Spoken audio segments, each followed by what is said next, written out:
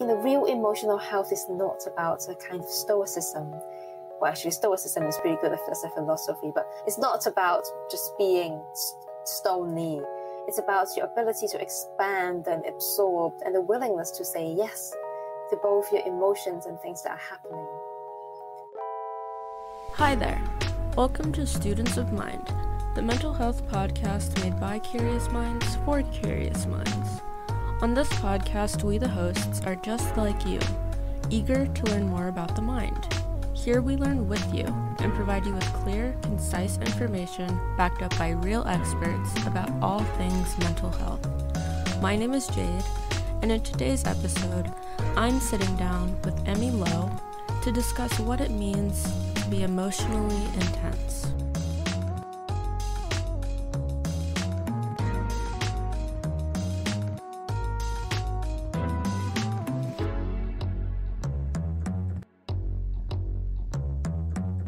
So today's guest is therapist, author, and podcast host Imi Lo. Imi is the founder of Eggshell Therapy and Coaching, a practice dedicated to treating individuals who are emotionally intense and sensitive across the globe. Along with being a clinical psychotherapist, Imi is a certified art therapist, social worker, EMDR therapist, and mindful teacher. Imi was granted the International Endeavour Award by the Australian government for her clinical and academic excellence. Her work has been featured on many popular publications, including the Daily Mail, The Telegraph, and Talk Radio. Welcome, Imi, and thank you so much for being here. It's good to be with you. Good morning. Yeah, good morning. So, I know I said a little bit about some of your work, but you have this such an amazing journey and story. So, can you say more about yourself, the work you do, and how you got to where you are today? Sure. Thank you for the opportunity. Um, so, as you have said, I work with highly sensitive and intense people, and many of them don't feel like they fit into the mainstream society. So maybe all their lives they have been told by their parents or people around them to say they were too much, too strange, too difficult, or even too dramatic. I myself identify as being quite a misfit, that I don't really fit into the conventional um, norm myself. And when I discovered these concepts, um, it was a relief to know that I'm not the only one. So my job now is to help people to go what I call from healing to thriving, or to go from being the misfits to being the leaders of the world healing because there are probably a lot of childhood trauma from being misunderstood, pushed to the side, um, dismissed from when they were younger, because a lot of sensitive and empathic people carry certain roles and responsibilities in their families that might have wounded them. But we also don't just want to heal, we also want to thrive. So, really helping people to harness their unique gifts to own who they truly are. I mean, a lot of intense people, perhaps at some point in their lives, because they have been repeatedly rejected, they might have taken an what I call an unconscious vow. Like they've signed a contract to hide who they are because they have been hurt and betrayed too much. So then they develop this what what we call in psychology a false self, which doesn't mean they're fake or false. It just means they have got an adapted social facade that has been edited to survive in the world. And by doing that, they might have lost touch with who they really are. So they make themselves invisible. They have these imposter syndromes, for example, to avoid the judgments, the teasing, the shaming. They've mellowed out. They've mellowed out the intensities to fit in. So a lot of my work is helping people to own, claim, reclaim who they are, to really feel in their body and their soul that actually there's nothing wrong with them. It's about reclaiming who they really are authentically. And in that journey, I also teach people to maybe look at some of the relationship challenges, such as finding partners who might also be like you or at least have an understanding of who you are and some of the workplace challenges that they may face. So, yeah, there are many aspects to my work. I can go on forever, but I think that probably answers your questions. Yeah, that's great. So you you talk about this concept of emotional intensity. Can you talk a little bit more about what that means? I feel like a person who may not be emotionally intense might hear that phrase and not think it's something that affects someone um, mm. extensively. Sure. Uh, so, so, can you kind of explain it? I summarize emotional intensity as a concept to com- be comprising of five components. To just read them out, they are number one, emotional depth and passion. Number two, deep empathy and sensitivity. Number three, being highly attuned and perceptive. Number four, having a rich inner world, which also comes with a, sen- uh, a degree of intellectual intensity and probably vivid imaginations. And number five, creative potential and the experience of existential angst. So on the surface, they may be a deep thinker, they may be an intuitive feeler, they may be highly empathic, and they observe a lot. And when something moves them, like art or music, they feel really ecstatic. But when they're sad, like when watching the news or seeing people suffer, they do really, really feel it in the core of their heart. And they may find that what works for others don't work for them. They can't hold down something that is conventional, maybe the corporate ladder or a stable and predictable thing. maybe I can go into the descriptions a bit more of each of these categories too. Yeah, that would be good. So, yeah, with emotional depth. So, maybe whether or not they express it outwardly, they feel things deeply, intensely, and then they may feel both positive and negative feelings at the same time, sometimes very quickly, one after the other. They sometimes they describe it as um, having a washing machine full of feelings, just constantly looping. They may be very deep thinker, even when they were young, they felt like an old soul that's much more mature and deeper than people around them. They can be extremely passionate. They can come across as being obsessed. They may be infatuated with people or ideas. Usually, they don't like small talks. Even if they're an extrovert, they just have very little tolerance for the social niceties. Mm. Or they can't talk about the weather extensively. so they really want to have meaningful connection with others. And then they have very deep empathy and sensitivity to the point where sometimes they identify as being empaths, which means they absorb other people's energies. Like, for example, when they walk into a room, they may feel feelings that are not theirs, like things that other people feel, but they're unsaid. They can feel it in their body. So, as a result, they may find things like crowds or social situations really overwhelming and exhausting. They may have what other people call a thin skin, so they feel hurt quite easily. Perhaps they overanalyze interactions with others. They can be quite overwhelmed by things like noise, strong smells, sensations from rough surfaces, and etc. So they may have other body symptoms like migraines, allergies, digestive issues. They're also highly attuned and perceptive, so they often see beyond the surface for instance, they can tell when other people are lying, even when it's not obvious. So sometimes they come across as being psychic. Mm. They're also often the whistleblowers who reveal what is in the room, but it's inconvenience to be known. And some of them, quite a lot of sensitive and intense people, are also spiritually sensitive. So they are attuned and drawn to spirituality, not necessarily religious, but spirituality from a young age. They're also wildly imaginative. Many of them have has imaginary friends when they were younger, and many intense people are also intellect also intellectually intense. So emotional intensity and intellectual intensity often go together. So they have a fast brain that processes information quickly. Their mind runs on multiple tracks. They can see the deepest potential of things. But many of them also have what I call an existential angst. So, for unknown reason, they feel the weight of responsibility on their shoulders, even for things that they're not really responsible for. So, they feel a sense of urgency and a com- constant impulse to move forward. They have very high level, high standards for themselves and others. So what seems normal to them can seem perfectionistic to others. I can go on and on. Yeah, it's interesting hearing all of the stuff because it feels like I'm like hearing about myself. oh, um, mm. Yeah.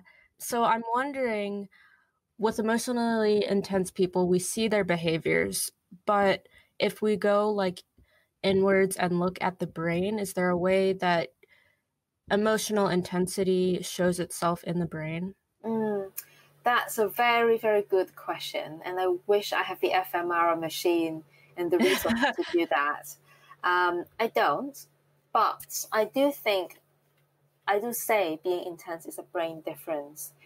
It's it's a temperament. It's we come to the world. I, I'm not sure how much of it is nature and how much of it is nurture. I do believe that there's a big part of it that's coming from nature. In 1995, Dr. Elaine Aron published a book, Highly Sensitive People, and she brings the concept of highly sensitive people into the mainstream. In her research, she suggests that 15 to 20% of the population are highly sensitive. And it's just as likely amongst women as it is amongst men.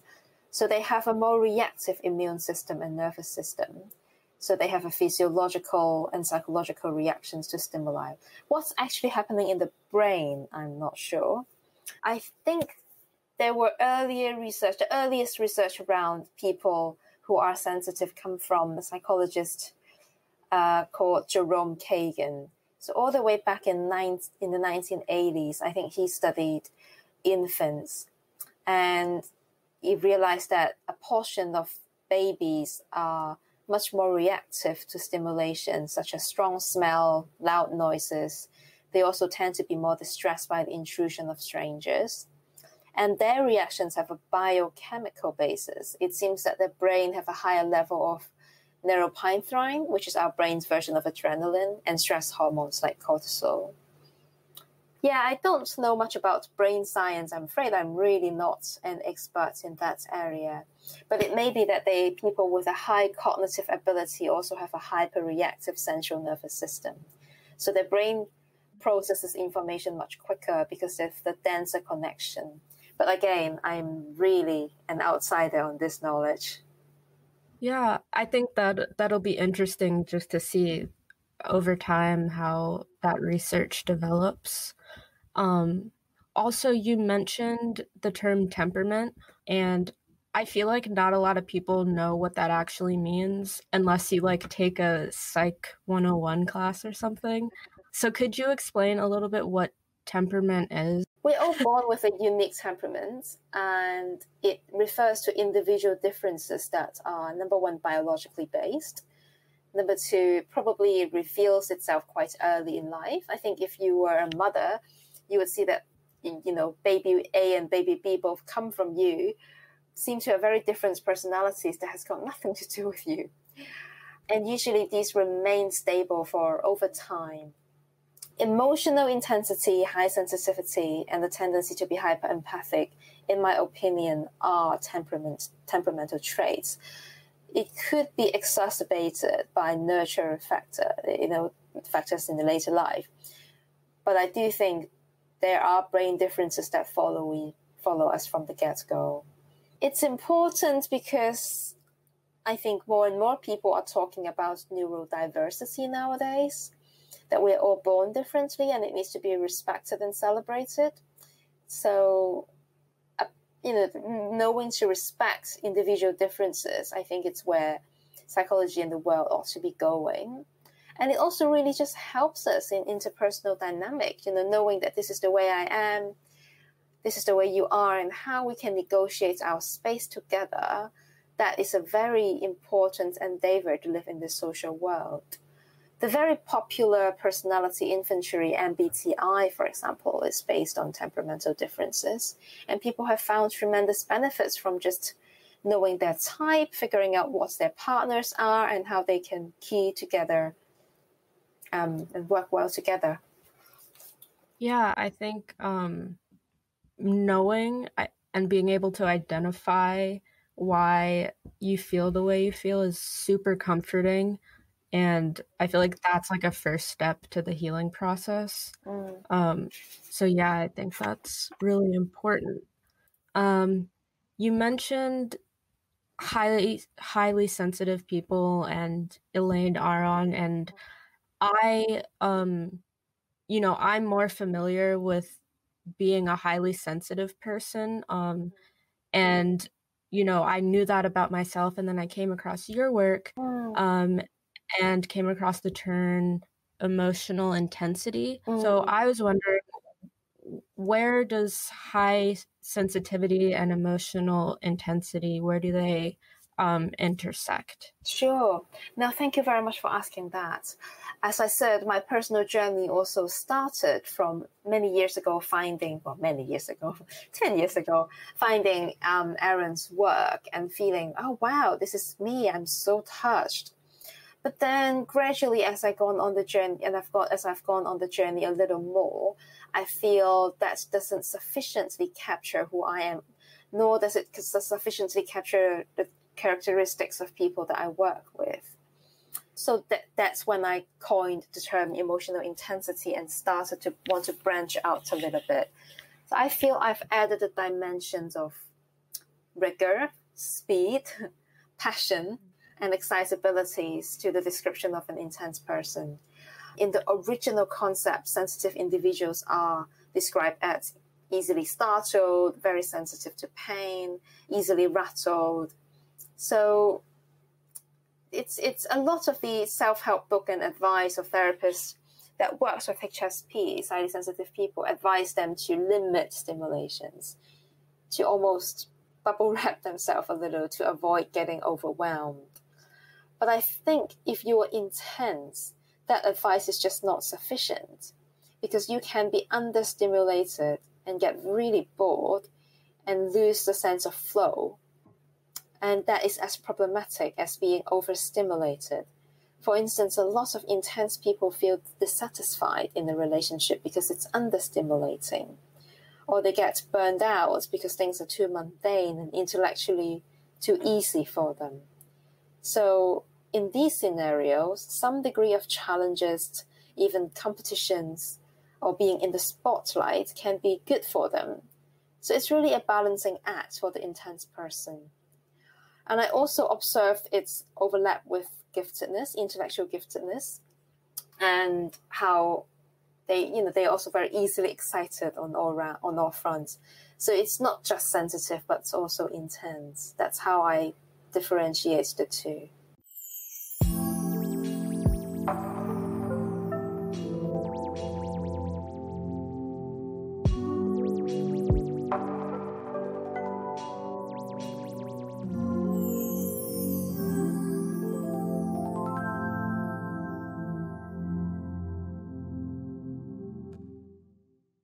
So, high sensitivity and emotional intensity are terms that describe personality traits, but I feel like you know some of the behaviors that go along with these traits are very similar to different mental illnesses. And I'm wondering how does a person know if they are experiencing a mental illness like anxiety or if they're experiencing emotional intensity or high sensitivity? Hard to tell. And obviously, I mean, nowadays we live in a culture that is quite emotion phobic. You know, we're quite shy away from anyone saying they're down. I think it's getting better, but by and large, we, and especially in particular cultures, it's very much about silencing negative feelings. And when I say negative, it's not that they are fundamentally negative, it's just that the culture deemed them to be negative, like sadness or fear or particularly anger. When you're intense, however, the normative strategies of just denying and brushing off and dampening things don't seem to work it seems that your friends can say, "Oh, you just don't think too much. Just go get a drink. Just have some snacks. You'll feel better. Go get a walk." A lot of intense people don't find these strategies very helpful. They also don't find a lot of help from conventional. Well, they do find help, but limited help from conventional therapies like CBT, cognitive behavioral therapy. So that would make them look like they have an out of the norm reaction to things already. And another factor is the field of psychology is based on social science, quantitative social science. So the definition definition of mental health is very much dependent on how well a person adapts to social norm. You know, putting the same symptoms in a completely different time and culture, a person would be considered completely normal. But because there's a normative culture and the intense people operate slightly outside of it, so your normal may seem neurotic and obsessive to others. Some of the common labels are borderline personality, bipolar disorder, and ADHD because of their speed and the emotional intensity for the intense person. But obviously, I absolutely do not want to diminish the value of getting a mental health diagnosis because they can be life saving. So can medications. But very often, intense people are being labeled with such or even being scapegoated as such, where there's no real pathology, where they're actually just more expressive and more intense, or they may be more in touch with the darker side of our collective consciousness because of their empathy you know, we can argue that given the, the way the world is, it's probably normal to feel depressed rather than jolly. So, in a way, they are like the canary in the coal mine. They are just feeling what is supposed to be felt, and others are denying. We can argue that. Yeah, that's that's an interesting way to look at it. I think that's also a, a more positive way to look at it because I can definitely feel like hearing all of this could make a person who experiences the world in this way feel a little self-conscious and bad about themselves? Because it, it feels like there's almost no escape. Like people who are emotionally intense and highly sensitive it's like the st- stimulus that we're taking in is so much and sometimes we can't control that. So how do we function in the world if we can't control all the stimuli that we're taking in? And that's overwhelming us. So yeah i'm just wondering like do you have any hopeful words or any like positive things that this trait allows people to do? Absolutely. Yeah no it is a gift in itself as i often say it is hard to, especially when you were younger and you didn't have the emotional skills to navigate the complex and intense emotional landscape. But these things can be learned in therapy, can be trained. And one thing to do is learning to befriend your emotions. And you know, real emotional health is not about a kind of stoicism. Well, actually, stoicism is pretty good as a philosophy, but it's not about just being stony it's about your ability to expand and absorb and the willingness to say yes to both your emotions and things that are happening. So allow things to move you and move you deeply, but without losing your ground completely. If you can do that, you can harness your sensitivity and empathy as gifts because the world is calling for it. The world is craving empathic and sensitive leaders. Um, there's a lot that sensitive people and intense people can offer the world. They have lots of leadership qualities.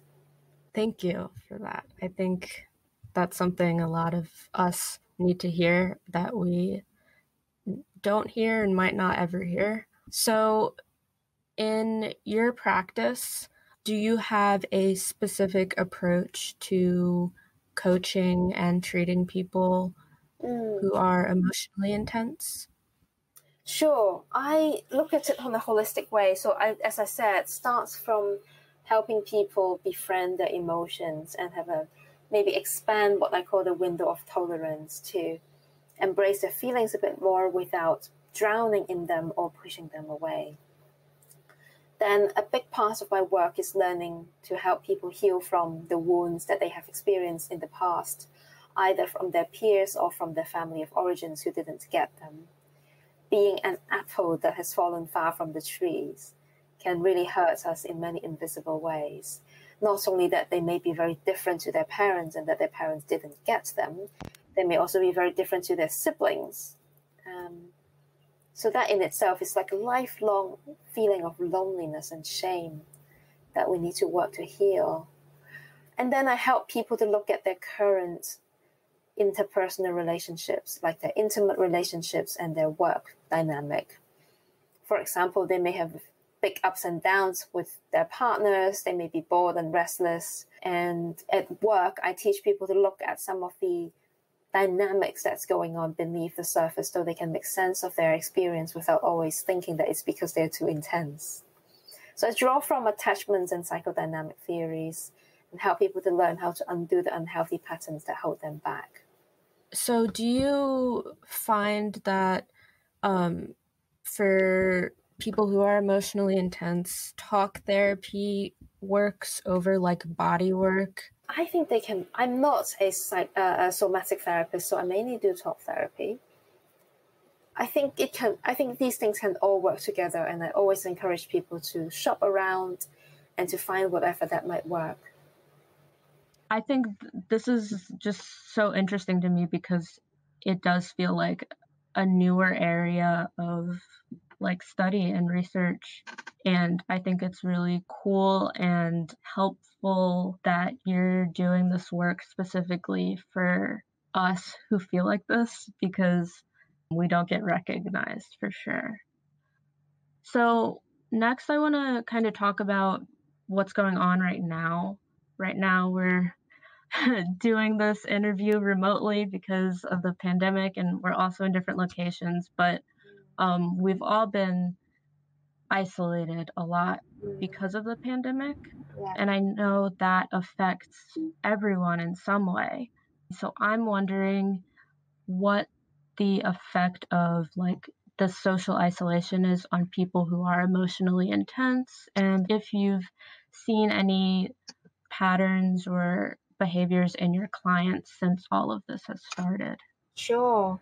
Well, frankly, definitely not to make light of the situation, but many of my clients are actually feeling quite okay with the extra space and solitude. So, a lot of my clients are actually secretly enjoying the solitude and the space mm. that is that has been given. So they I think in the past they find that they need to find many excuses to escape mindless social engagement but they find that they no longer have to. But obviously, that is the many fortunate in myriads of very unfortunate events. Intense people often feel very deeply into the pain of the world because of their empathic nature. They also feel injustice very deeply. So they probably find the news very overwhelming. And people in their immediate surrounding may not get why they're reacting so strongly to things in the wider world. That that leaves them feeling quite lonely.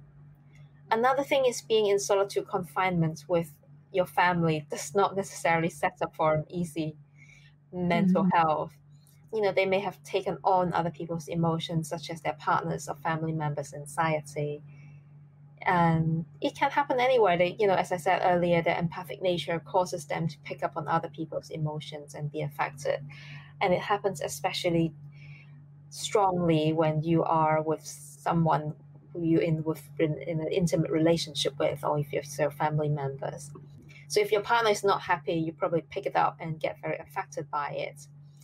Even when they say they're not unhappy you can sense it. That makes the whole situation quite tiring and overwhelming for them because they are not only caring for their own anxiety but also emotionally caretaking their family members unknowingly. Yeah. So these are some of the challenges, new challenges that they're facing. Okay. So something you've um, mentioned a few times is just how there can be some struggles with family when someone is intense. And I know how an HSP is treated um, as a child is very important to their development and just the dynamic of the home.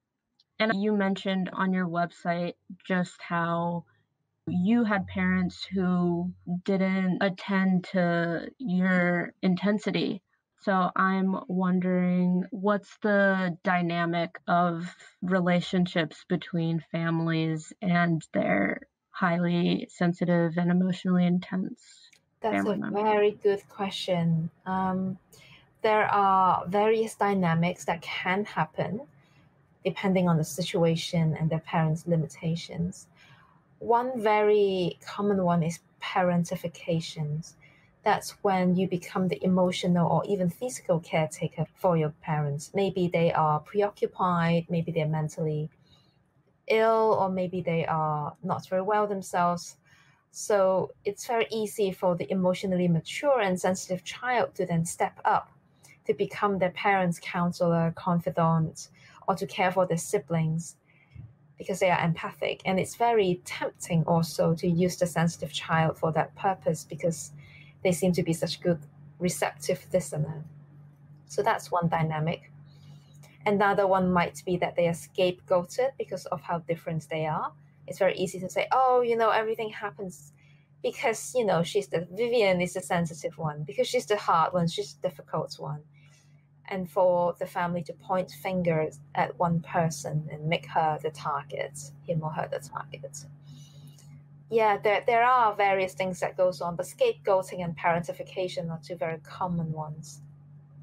So, how would you suggest someone navigate their relationship with families um, so that they aren't experience so much suffering?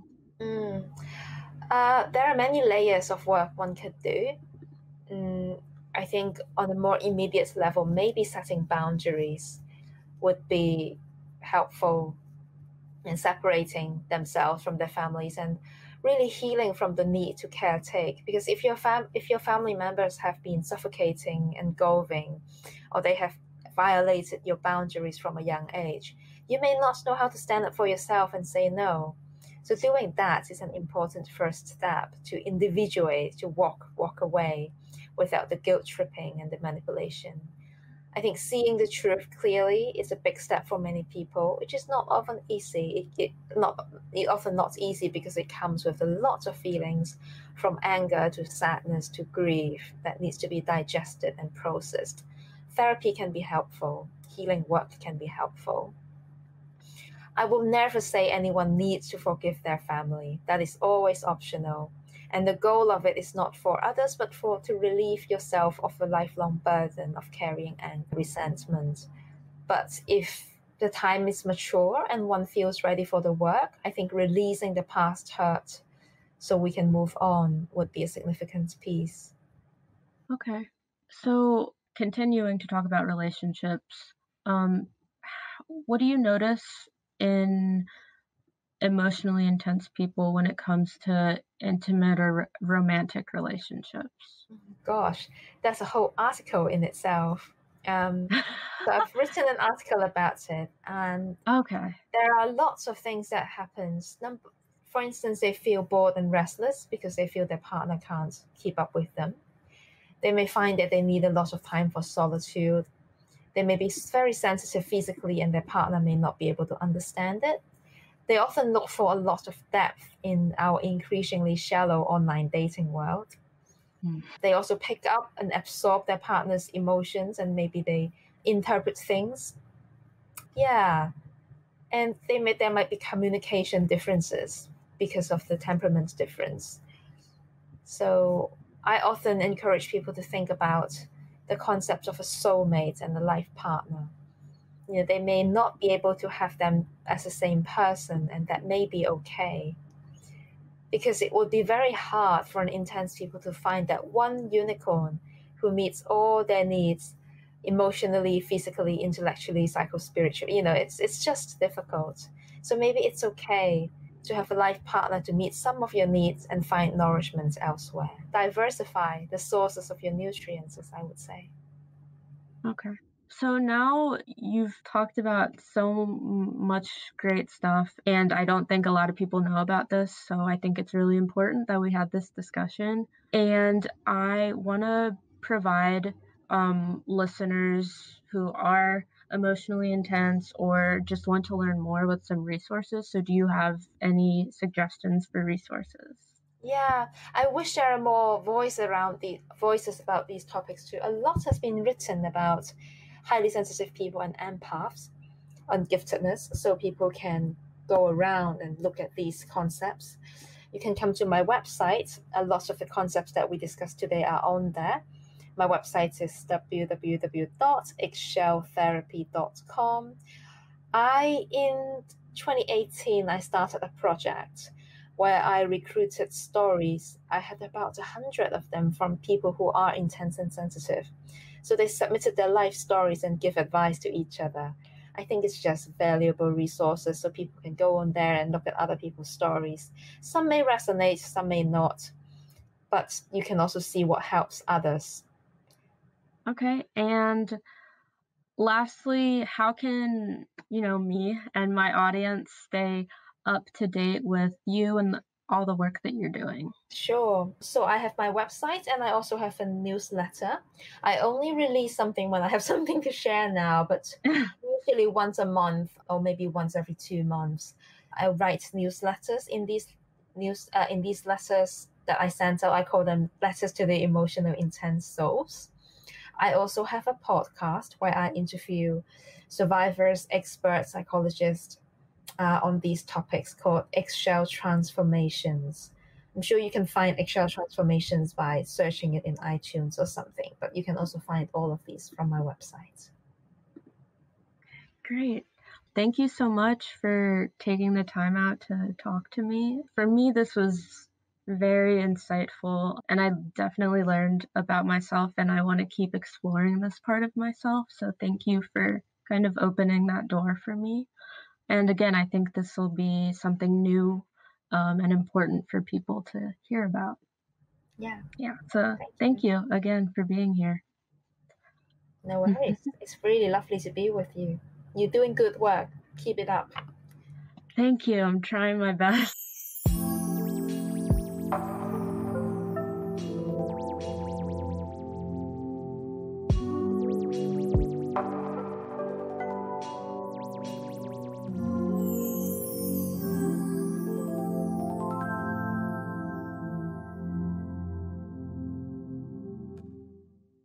Thank you so much for listening to this episode of Students of Mind.